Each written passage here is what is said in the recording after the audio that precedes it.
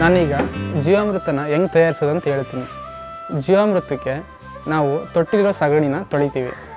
ಸಾಮಾನ್ಯ ಪೈಪ್ನಿಂದನೋ ಅಥವಾ ಪ್ರೆಷರ್ ಪೈಪ್ನಿಂದನೋ ಈ ಸಗಣಿನ ನಾವು ತೆಕೋತೀವಿ ನಾವು ಈ ಸಗಣಿನ ಕೈಯಿಂದ ಎತ್ತೋ ಅವಶ್ಯಕತೆ ಇಲ್ಲ.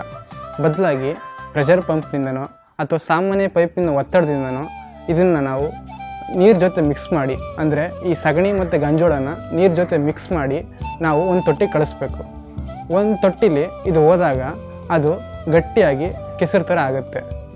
ನೀವೇನಾದರೂ ಈ ತೊಟ್ಟಿನ ಮೆಟ್ಲು ಮೆಟ್ಲು ಥರ ಕಟ್ಟಿದ್ರೆ ಈ ಕೆಸರು ತನಗೆ ತಾನಾಗಿ ಒಂದು ತೊಟ್ಟಿಯಿಂದ ಇನ್ನೊಂದು ತೊಟ್ಟಿಗೆ ಸುರ್ಕೊಳ್ಳುತ್ತೆ. ಆದರೆ ನಾವು ಈಗಿರೋ ತೊಟ್ಟಿನ ಉಪಯೋಗಿಸ್ತಿರೋ ಕಾರಣ ನಾವು ಈ ಕೆಸರನ್ನು ಮತ್ತೊಂದು ತೊಟ್ಟಿಗೆ ಪಂಪಿನ ಮೂಲಕನೇ ನಾವು ಕಳಿಸ್ಬೇಕಾಗತ್ತೆ. ನಾವು ಬೆಳಿಗ್ಗೆ ಒಂಬತ್ತು ಗಂಟೆಗೆ ಈ ಸಗಣಿ, ನೀರು ಮತ್ತು ಗಂಜಳದ ಮಿಶ್ರಣನ ತೊಟ್ಟಿಗೆ ಹಾಕಿದ್ರೆ ಮಧ್ಯಾಹ್ನ ಮೂರು ಗಂಟೆ ಅಷ್ಟೊತ್ತಿಗೆ ಇದು ತಿಳಿ ದ್ರವವಾಗಿ ಬದಲಾವಣೆ ಆಗಿರುತ್ತೆ. ನೆಲದಿಂದ ಒಂದು ಅಡಿ ಮೇಲೆ ಒಂದು ಗೇಟ್ ವಾಲ್ ಇರುತ್ತೆ. ಮತ್ತು ಒಂದೂವರೆ ಅಡಿ ಕೆಳಗೆ ಗಟ್ಟಿ ಪದಾರ್ಥ ಅಥವಾ ರಾಡಿ ತಳ ಸೇರಿರುತ್ತೆ. ಇದು ಮಧ್ಯಾಹ್ನ ಮೂರು ಗಂಟೆ ಅಷ್ಟೊತ್ತಿಗೆ ತಿಳಿ ದ್ರವವಾಗಿ ಬದಲಾಗಿರುತ್ತೆ. ಈ ತಿಳಿ ದ್ರವ ಮತ್ತೆ ಮೂರನೇ ತೊಟ್ಟಿಗೆ ಹರಿಯುತ್ತೆ. ನೆಲದಿಂದ ಒಂದೂವರೆ ಅಡಿ ಮೇಲೆ ಒಂದು ಗೇಟ್ ವಾಲ್ ಇದೆ. ಒಂದೂವರೆ ಅಡಿ ಕೆಳಗೆ ಈ ಗಟ್ಟಿ ಪದಾರ್ಥ ಅಥವಾ ರಾಡಿ ಎಲ್ಲ ತಳ ಸೇರಿರುತ್ತೆ. ಮಧ್ಯಾಹ್ನ ಮೂರು ಗಂಟೆ ಅಷ್ಟೊತ್ತಿಗೆ ಈ ಎಲ್ಲ ಮಿಶ್ರಣ ಮೇಲ್ಗಡೆ ಬಂದು ತಿಳಿ ದ್ರವ ಆಗಿರುತ್ತೆ.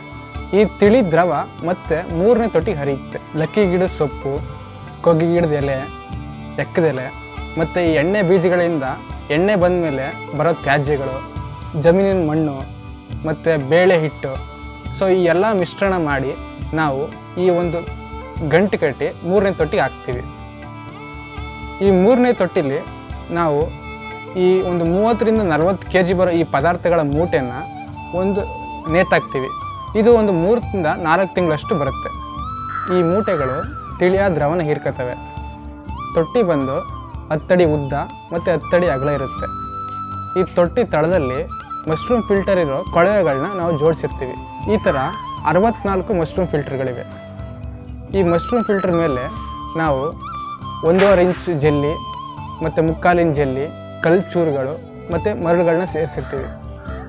ಈ ತಿಳಿಯಾದ ದ್ರವ ಈ ಮರಳು ಮತ್ತು ಕಲ್ಲು ಚೂರುಗಳಿಂದ ಹೋಗಿ ತನಗೆ ತಾನೇ ಸೋಸ್ಕೊಳ್ಳುತ್ತೆ. ಮತ್ತು ಇದ್ರ ಒತ್ತಡಕ್ಕೆ ಕೆಳಗಡೆ ಬಂದು ಈ ಮಶ್ರೂಮ್ ಫಿಲ್ಟರ್ ಕೊಳವೆಗೆ ಸೇರಿಕೊಳ್ಳುತ್ತೆ. ಈ ದ್ರವ ಮುಂದಿನ ತೊಟ್ಟಿಗೆ ಹೋಗಿ ನೀರು ಥರ ಹೊರಗೆ ಬರುತ್ತೆ. ಇದೇ ಜೀವಾಮೃತ. ಈ ಜೀವಾಮೃತದಲ್ಲಿ ಅಥವಾ ಈ ತೊಟ್ಟಿಲಿ ಯಾವುದೇ ಥರ ಗಟ್ಟಿ ಪದಾರ್ಥಗಳಿಲ್ಲ. ಬರೀ ನೀರು ಥರ ಇರುತ್ತೆ. ನಾವು ಈ ತೊಟ್ಟಿಗೆ, ಈ ನಾಲ್ಕನೇ ತೊಟ್ಟಿಗೆ ನಾವು ಒಂದು ಮೋಟ್ರನ್ನ ಅಳವಡಿಸಿರ್ತೀವಿ. ಈ ಮೋಟ್ರ್ ಜೊತೆಗೆ ನಾವು ನೀರಿನ ಮೋಟ್ರನ್ನ ಆ ಫುಟ್ ವಾಲ್ಗೆ ಜಾಯಿನ್ ಮಾಡಿದ್ರೆ ನಾವು ಈ ನೀರಿನ ಜೊತೆ ಜೀವಾಮೃತನೂ ಕೂಡ ಭೂಮಿಗೆ ಹಾಕ್ಬೋದು. ಉದಾಹರಣೆಗೆ ನಮ್ಮ ತೋಟದಲ್ಲಿ ಒಂದು ಗಂಟೆಗೆ ನಮ್ಮ ಮೋಟ್ರು ಸಾವಿರದ ಐನೂರು ಲೀಟ್ರನ್ನ ಹೊರಬೀಳಿಸುತ್ತೆ. ನಾವು ಎಷ್ಟು ಜೀವಾಮೃತ ಕೊಡಬೇಕೋ ಅಷ್ಟು ಜೀವಾಮೃತಕ್ಕೆ ಎಷ್ಟು ನೀರು ಬೇಕೋ ಅಷ್ಟು ನೀರನ್ನ ಬಿಡೋಕ್ಕೆ ಮೋಟ್ರನ್ನ ಶುರು ಮಾಡಿ ನಂತರ ಅದನ್ನ ಆಫ್ ಮಾಡ್ಬೋದು. ಈ ವಿಧಾನ ತುಂಬ ದೊಡ್ಡ ದೊಡ್ಡ ಜಮೀನುಗಳಿಗೆ ಸೂಕ್ತವಾಗಿರುತ್ತೆ. ನಾವು ಮೂವತ್ತು ಎಕರೆಗೆ ಈ ಜೀವಾಮೃತ ಪೂರೈಸಬೇಕು ಅಂತಂದರೆ ಇದು ತುಂಬ ಸುಲಭವಾದ ಕೆಲಸ. ಎಲ್ಲ ಆಟೋಮೆಟಿಕ್ ಆಗಿ ಆಗ್ತಿರುತ್ತೆ. ಇಲ್ಲಿ ಜಾಸ್ತಿ ಕೆಲಸನೇ ಇರಲ್ಲ. ನಾವು ಕೈಯಿಂದ ಕೂಡ ಸಗಣಿನ ಕೂಡ ಎತ್ತೋ ಅವಶ್ಯಕತೆ ಇಲ್ಲ. ಅದಕ್ಕೆ ತನಗೆ ತಾನೇ ಹರ್ಕೊಳ್ಳುತ್ತೆ. ಮತ್ತು ತನಗೆ ತಾನೇ ಸೋಸ್ಕೊಳ್ಳುತ್ತೆ. ಇದು ಅತಿ ಕಮ್ಮಿ ಕೆಲಸ. ಮತ್ತು ನಾವು ಬೆಳೆಗಳಿಗೆ ನೀರನ್ನ ಪೂರೈಸೋಕ್ಕೆ ಮೋಟ್ರ್ ಆನ್ ಮಾಡಿದಾಗ ಅದರ ಜೊತೆಗೆ ಜೀವಾಮೃತ ಕೂಡ ಪೂರೈಸ್ಕೊತ್ತೆ. ಮತ್ತು ಬೆಳೆಗಳಿಗೆ ನೀರೈಸೋಕ್ಕೆ ಮೋಟ್ರ್ ಶುರು ಮಾಡಿದ್ರೆ ಅದರ ಜೊತೆಗೆ ನಾವು ಜೀವಾಮೃತನ ಪೂರೈಕೆ ಮಾಡ್ಬೋದು. ಸೊ ಅದರಿಂದ ಇದು ತುಂಬ ಕಮ್ಮಿ ಕೆಲಸ. ಮತ್ತು ನಾವು ಇನ್ನೂ ಚೆನ್ನಾಗೂ ಮಾಡ್ಬೋದು. ಈ ಮೋಟ್ರ್ಗಳು ಮತ್ತು ಕಂಪ್ರೆಸ್ಗಳ ಅವಶ್ಯಕತೆಯೇ ಇರಲ್ಲ. ಬರೀ ಗುರುತ್ವಾಕರ್ಷಣ ಬಲದಿಂದಲೇ ಕೂಡ ನಾವು ಇದನ್ನ ಇನ್ನೂ ಆಟೋಮೆಟಿಕ್ಕಾಗಿ ಚೆನ್ನಾಗಿ ಮಾಡ್ಬೋದು. ಜೀವಾಮೃತನ ಡ್ರಮ್ಮಲ್ಲಿ ಕಲಸಿ ಉದ್ಗಕ್ಕೆ ಬಿಟ್ಟು ಮತ್ತು ಗಾಡೀಲಿ ಅದನ್ನ ತಗೊಂಡೋಗಿ ಬೆಳೆಗಳಿಗೆ ಪೂರೈಸಬೇಕು ಅಂತಂದರೆ ಒಂದು ಅಥವಾ ಎರಡು ಎಕರೆಗೆ ಓಕೆ.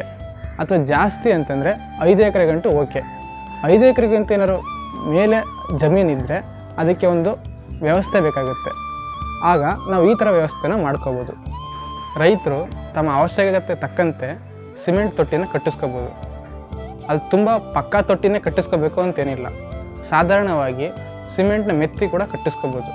ಏನಂತಂದರೆ ನಾವು ಬಿಡೋ ನೀರು ಎಲ್ಲೂ ಸೋರದೆ ಹೊರಗಡೆ ಬಂದರೆ ಸಾಕು. ಇದು ಎಲ್ಲರಿಗೂ ಸೂಕ್ತವಾದ ವಿಧಾನ.